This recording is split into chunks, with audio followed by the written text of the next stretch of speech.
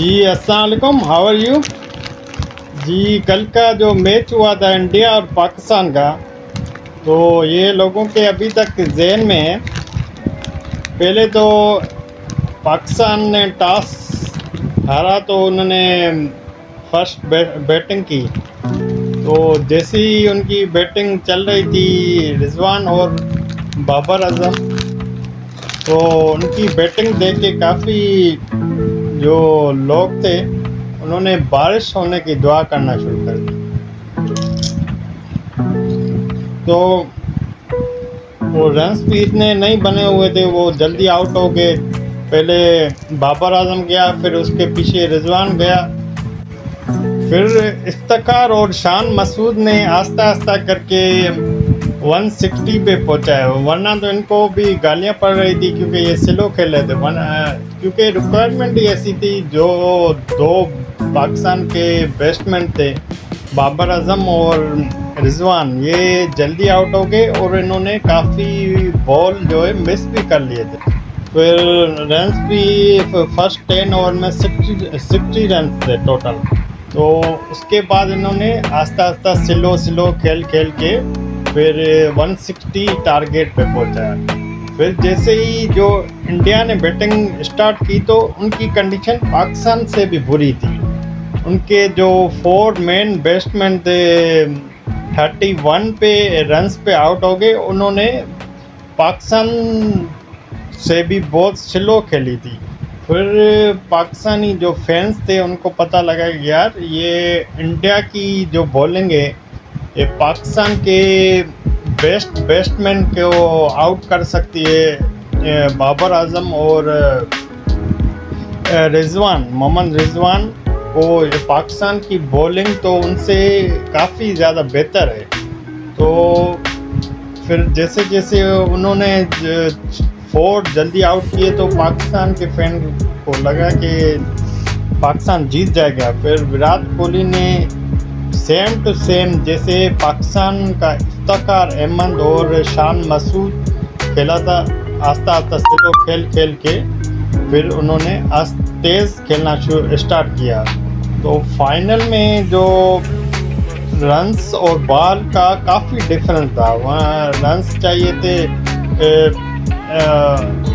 बारह बॉल पे thirty one thirty two चाहिए थे। तो मेन पाकिस्तान के बॉल बॉलर थे जो हारिस रऊफ़ और शाइन शाह आफरीदी तो उनको भी शक्के और चौंके लगे तो फिर काफ़ी पाकिस्तानी जो बॉलर थे फील्डर थे काफ़ी प्रेशर में आ गए। तो उनका जो विराट कोहली और इंडिया को काफ़ी फ़ायदा हुआ। उसके बावजूद भी ये ए, लास्ट बॉल पे लेके गए मैच को। वरना तो जैसे पाकिस्तान के फ़र्स्ट बैटिंग की तो टॉस भी एक तो हारी थी और दूसरा तो फिर जो मैच जो है, जो फाइनल ओवर में चला गया, उस फाइनल ओवर में छः बॉल पे 16 रन चाहिए थे। मोहम्मद नवाज़ जो बॉलिंग करा रहा था तो उन्होंने अपनी पूरी पूरी कोशिश की थी। वह ये तो उनकी पाकिस्तान की किस्मत में नहीं था। ये नो बॉल हो गया या विराट कोहली ने फ्री हिट मारा। फिर भी लास्ट बॉल पे मैच चला गया था। एक बॉल पे दो रन चाहिए थे। फिर एक वाइड हो गया। तो उसमें जो है, पाकिस्तान को काफ़ी मतलब कि पाकिस्तान के फेवर में पहले तो एक तो टास जो है पा, पाकिस्तान को फेवर में नहीं मिली उन्होंने लास्ट कर दिया टास तो उसके बाद जो है फोर पाकिस्तान ने जल्दी आउट किए। जल्दी आउट किए तो उसके बावजूद विराट कोहली की पार्टनरशिप लग गई। फिर उसके बाद नो बॉल हो गया। फिर फ्री हिट वाइड काफ़ी मतलब कि पाकिस्तान ने गलतियाँ कर दी।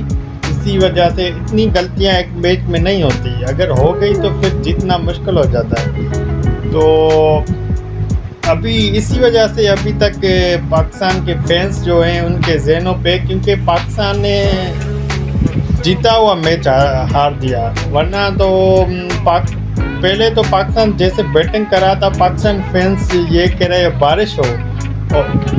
फिर उन्होंने इंडिया की बैटिंग देखी तो उनकी पाकिस्तान से भी गई गुजरी निकली बैटिंग ये तो विराट कोहली की पार्टनरशिप लग गई तो उन्होंने अच्छी बैटिंग कर दी, वरना तो ये लास्ट बॉल तक पाकिस्तान ने पूरी पूरी कोशिश की थी।